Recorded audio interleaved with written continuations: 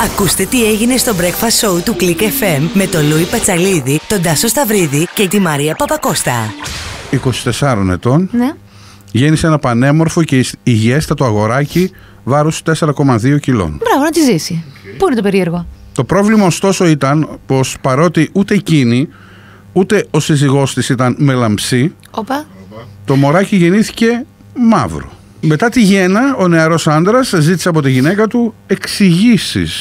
Τι είναι αυτά, Μωρή; Δεν είμαι ρατσιστής, δεν με ενδιαφέρει λίγο το χρώμα του δέρματός του, αλλά με έχεις απατήσει; Δεν είσαι ρατσιστής, μάτια μου, και ραντάσεις. Έχει διαφορά.